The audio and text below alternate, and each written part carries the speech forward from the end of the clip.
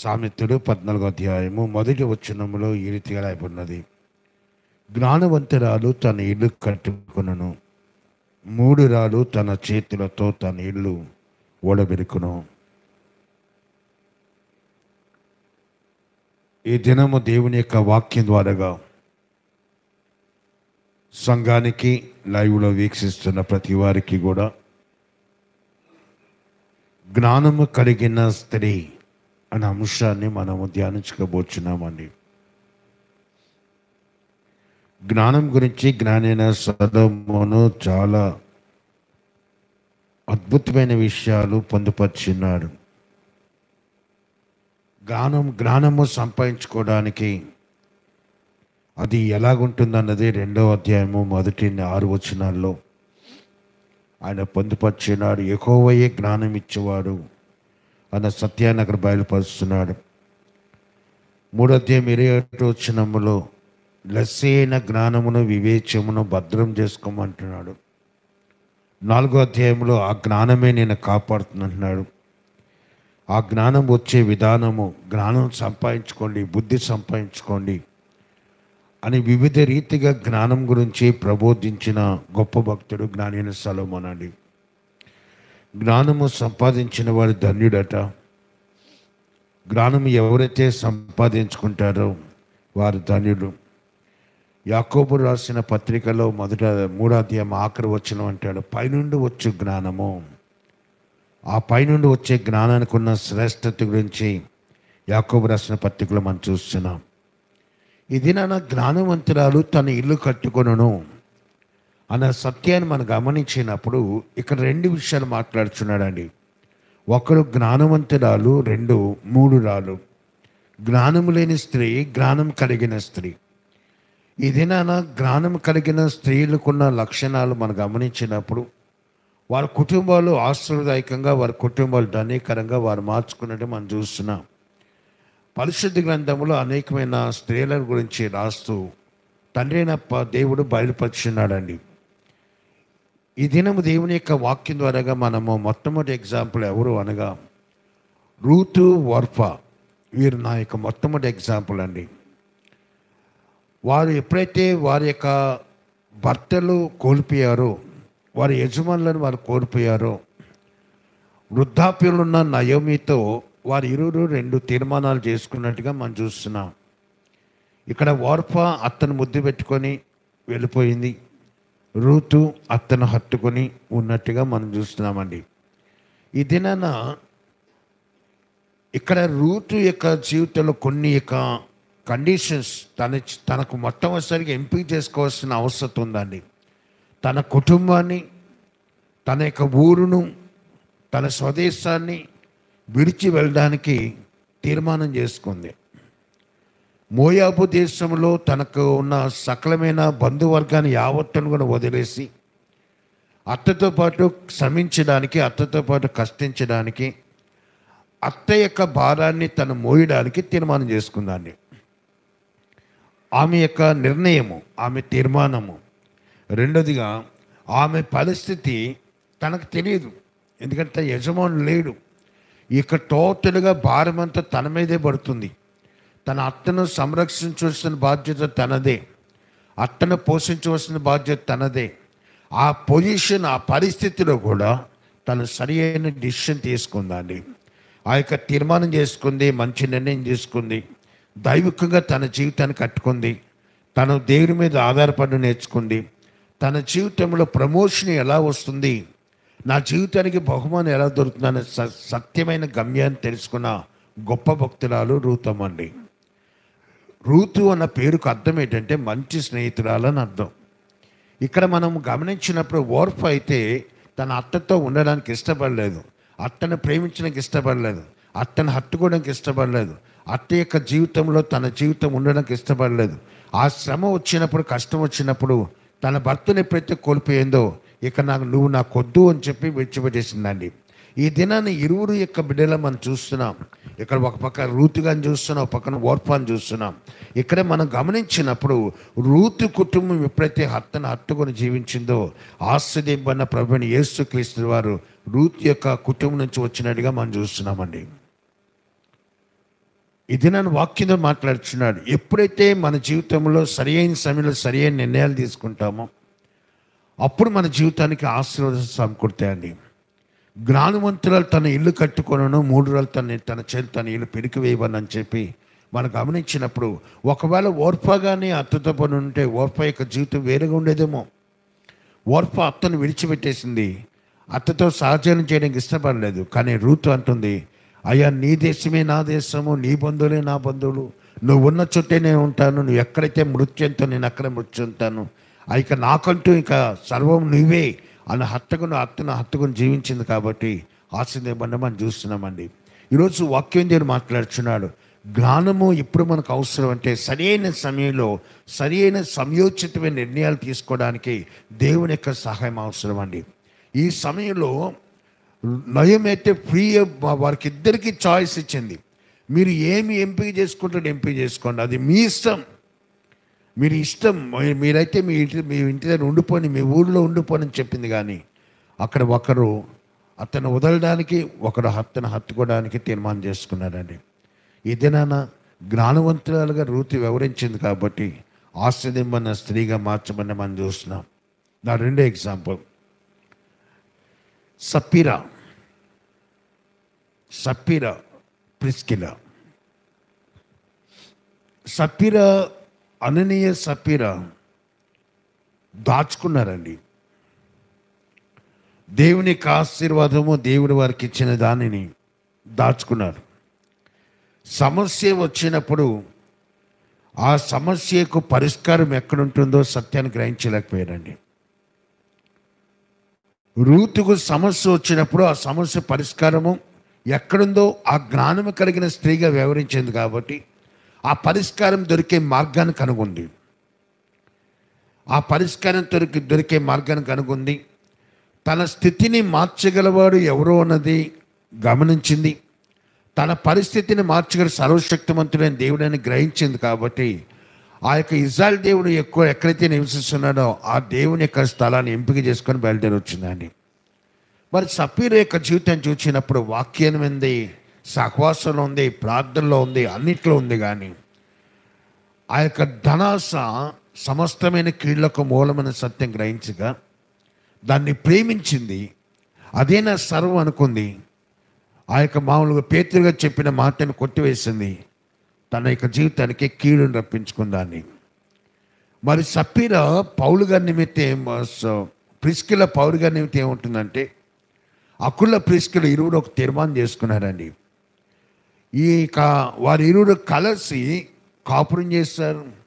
కలిసి పని చేస్తారు. కలిసి దేవుని యొక్క వాక్యాన్ని బోధించారు.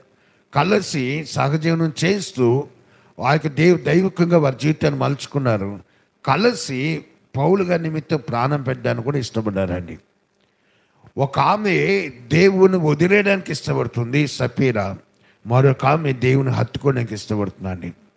ఈరోజు దేవుని యొక్క వాక్యం ద్వారా మనం ఎవరిని ఎవరిలాగా మనం వ్యవహరిస్తున్నాం? అసలు నువ్వెవరివి అన్న సత్యం ఎరగాలంటే నేను ఎవరిని నేను సత్యం ఎరగంటే వాక్యాన్ని సమీపించినప్పుడే మనం ఎవరో మనకు తెలుస్తుందండి. మనం జ్ఞానం కలిగిన వారమా జ్ఞానం లేని వారం అన్నది వాక్యమే ప్రబోధిస్తుంది. వాక్యమే మనకు చూపిస్తుందండి. జ్ఞానం కలిగిన వారి యొక్క తీర్మానాలు విధానాలు ఒకలాగా ఉంటాయి. జ్ఞానం లేని వారి యొక్క తీర్మానాలు విధానాలు ఒకలాగా ఉంటాయి. జ్ఞానం కలిగి ఉన్నాడు. చాలా జాగ్రత్తగా తన కుటుంబాన్ని తన జీవితాన్ని తన కలిగిన సమస్తాన్ని కట్టుకుంటూ దైవికంగా తన కుటుంబానికి ఆశ్చర్యకరమైన బాటలో సాగడానికి ఇష్టం చెబుతాడండి జ్ఞానం లేని స్త్రీ తన ఇష్టానుసారమైన జీవితం జీవిస్తుంది. జ్ఞానం లేని స్త్రీ తన కుటుంబం గురించి బాధ్యత వహించదు. జ్ఞానం లేని స్త్రీ వాడు ఎవరు ఎలా ఎలా పోయినా పర్వాలేదు. నేను బాగుంటే చాలు అనుకున్న రీతిగా ఉంటుందండి. ఇదే నా వాక్యంగా మాట్లాడుచున్నాడు. ఒకరు రూత్ యొక్క జీ కుటుంబం చూస్తాం ఆశ్చర్యమైన కుటుంబంగా మార్చబడింది. ఎందుకంటే బోయాజుని మ్యారేజ్ పెళ్ళి చేసుకున్న తర్వాత తన జీవితానికి ధన్యతను సమకూర్చుకుందండి అననీయ సప్పీన వారి ఇరువురు కూడా భార్యాభర్త ఇరువురు ఉమ్మడిగా కలిసి పాపం చేయడానికి ఇష్టపడ్డారు. ఉమ్మడిగా కలిసి అవిదే చూపించడానికి ఇష్టపడ్డారు ఉమ్మడిగా కలిసి ఆ యొక్క ధనాన్ని దాచుకోవడానికి ఇష్టపడ్డారు దేవుని యొక్క మాటను మీరిపోయారు. ఆశీర్వాదాలు పోగొట్టుకున్నారని మనం చూస్తున్నామండి. అందుకే అంటాడు కైసెల్లవి కైసెల్లకును దేవుని దేవునికి ఇవ్వండి. మన జీవితంలో ఎప్పుడు కూడా ఆశీర్వాదం రావాలంటే మనం అంతా కూడా మన దేవుడు ఇచ్చిన జ్ఞానాన్ని బట్టి తెలియని బట్టి ఎవరి వారికి ఇవ్వాలండి? దేవునివి మనం దోచుకోకూడదు. లేక మనవి మన యొక్క జీవితంలో ఎప్పుడు కూడా ఏదైతే మనకు అనుగ్రహిస్తున్నాడో ఆశీర్వాదాలు కానీ ఏదైనా సరే ఎవరి వారికి మనం చేస్తున్నప్పుడు ఆశీర్వాదం మన చేతులు ఉంటాయండి. అననీయ సభ్యులు సరైన రీతిగా వ్యవహరించలేకపోవడం ద్వారాగా ఆశీర్వాద పోగొట్టుకుని మనం చూస్తున్నాం. కానీ ప్రిస్కిల దేవుని కోసమే కష్టపడింది. దేవుని కోసమే శ్రమించింది. దేవుని యొక్క సేవ చేయాలని తీర్మానం చేసుకుంది. ఆశీర్వాదాలు చూసిన మనం చూస్తున్నామండి.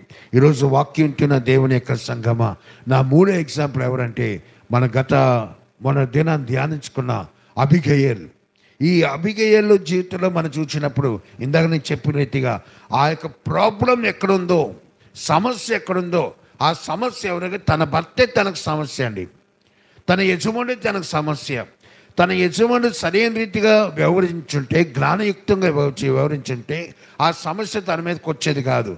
తన యజమానుడు ఒక సరైన రీతిగా వ్యవహరించలేని కారణం చేత యజమానురాలు తీర్మానం చేసుకుంటుంది. ఆ యజమానురాలు జ్ఞానయుక్తమైన మాటలతో జ్ఞానయుక్తమైన చేతలతో జ్ఞానయుక్తమైన సత్కార్యములతో ఆ యొక్క దావీదును మెప్పించడానికి దావీదును ఒప్పించడానికి దావీదును గణపరచడానికి తీర్మానం చేసుకుందండి సమస్యకు పరిష్కారం ఎవరంటే దావీదని గుర్తించింది. సమస్యను తీర్చి తన స్థితిగతిని మార్చగలవాడు దావీదని గుర్తించింది. ఆ సమస్యలో కూరుకుపోకుండా సమస్య నుంచి విడుదల పొందడానికి నేను ఎవరిని వేడుకుంటే నాకు సాయం దొరుకుతుందని సత్యాన్ని గ్రహించింది ఆ దావీద యొక్క పాస్తంది వెళ్ళి వేడుకుందండి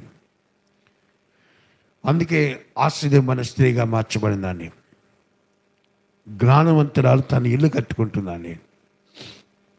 కుటుంబాల్లో చాలా సమస్యలు వస్తాయండి కుటుంబాల్లో చాలా బాధలు వస్తాయి. అందుకే యాకోబు రసపత్రులు అంటే మీకు జ్ఞానము కొదువు ఉన్నట్లయితే దేవుని అడగండి. సమస్యలు వచ్చినప్పుడు తొందరపాటుతో మన తీర్మానాలు చేయకుండా జ్ఞానయుక్తమైన మాటలతో కుటుంబాన్ని కట్టుకోవాలండి. ప్రతి ఒక్క కుటుంబాల్లో సమస్యలు రాక మానవు ఖచ్చితంగా వస్తాయండి. ఏదో ఒక రూపంలో సాతాన్ని చిచ్చులు పెడుతూనే ఉంటాడు. ఎవరో ఒకరి ద్వారాగా కుటుంబంలో బాధ వేదన రేపుతూనే ఉంటాడు. కానీ యజమానురాలుగా ఉన్న తల్లి కడు జాగ్రత్తతో తన కుటుంబానికి ఎక్కడ కీడు ఉందో ఎక్కడ ఆశలు ఉందో సత్యం గ్రహించి జాగ్రత్తగా మేము అసలండి ఏమాత్రం యజమానురాలు తేడాజి కొట్టినా సరే కుటుంబం అంతా చాలా చిన్నభిన్నమైపోతుందండి అందుకే అంటున్నాడు జ్ఞానైన సలమోను మీకు అవసరమైంది జ్ఞానము. ఆ జ్ఞానముతో జీవించండి. జ్ఞానంతో మీ కుటుంబాలు కట్టుకోండి. అందుకే జ్ఞానైన సలమోను ముప్పై ఒకటో అధ్యాయంలో మనం చూసినప్పుడు గుణవతైన భార్య దొరుకుతారు అత్యంత ముత్యము కన్నా అమూల్యమైనది అని చెప్పి మన రాస్తూ అంటాడండి. ఆ యొక్క స్త్రీకి ఉండే లక్షణాలు అక్కడ ప్రబోధిస్తాడు ఆమె జ్ఞానము కలిగి నోరు తెరిచిన అంటాడండి. ఆమె జ్ఞానయుక్తమైనది. ఆమె నమ్మదగిన స్త్రీ. ఆమె ఉదార స్వభావం కలిగిన స్త్రీ. ఆమె కష్టజీవి. ఆమె గౌరవస్వదమైన స్త్రీ ఆమె పోషణనిచ్చే స్త్రీ. ఇటువంటి అన్నీ కూడా జ్ఞానం కలిగిన వారికే అది ఈరోజు ఏ గత మూడు దినాల క్రితం భార్య సలహా భర్త క్షేమమా? కుటుంబ యజమానురాలు కడు జాగ్రత్తతో తన కుటుంబంలో ప్రార్థనతో కట్టుకుంటూ రావాలని యజమానుడు ప్రార్థించే యజమానుడుగా ఉండాలి యజమానురాలు ప్రార్థించే తల్లిగా ఉండాలి.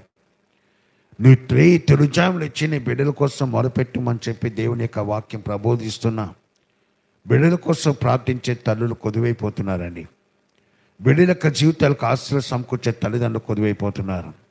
ఈరోజు పేరెంట్స్ యొక్క రెస్పాన్సిబిలిటీ పేరెంట్స్ యొక్క బాధ్యత గ్రహించిన వారు తన కుటుంబాన్ని సమర్పించినట్లయితే ఆ కుటుంబం దేవునికి అప్పగిస్తున్నప్పుడు దేవుని యొక్క ఆశీర్వాదాలు కుటుంబం ఏర్పడుతుంటాయండి.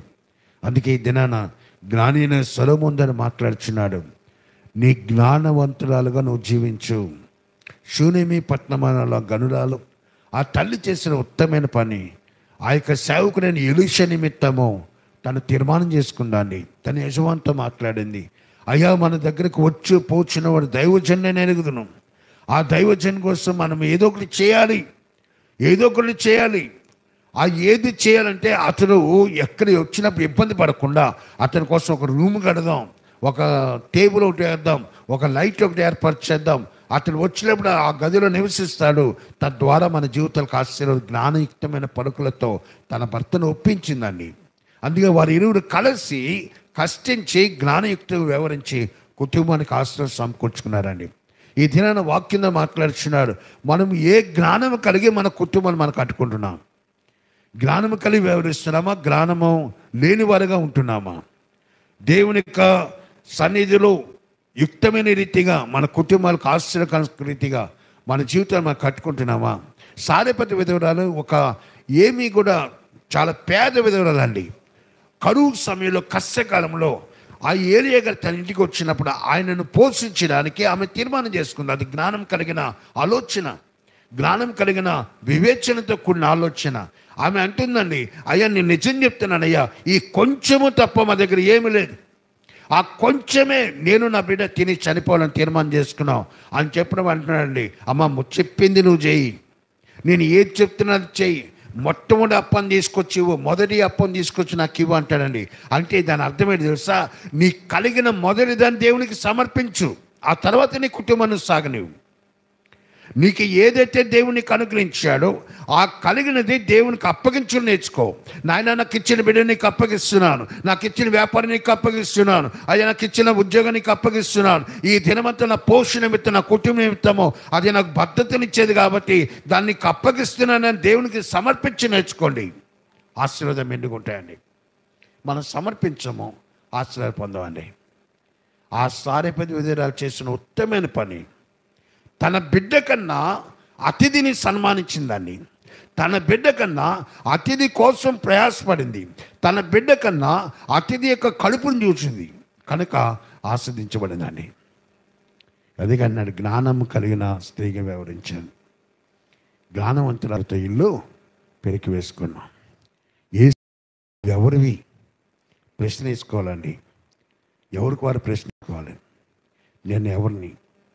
జ్ఞానవంతున్నా జ్ఞానము లేని వాడినా ఈరోజు ఈ ప్రశ్నతో మనం ఎప్పుడైతే సాగుతామో దేవుడిచ్చిన దాన్ని బట్టి ఒకవేళ జ్ఞానం కొదుగున్నట్లయితే నా తండ్రిని జ్ఞానంతో నింపయ్యా. నా కుటుంబాన్ని ఆశ్రయించు కుటుంబ యజమానురాలుగా నన్ను పెట్టావు. నా భర్తకు జ్ఞానం ఇచ్చే తల్లిగా నన్ను మార్చు.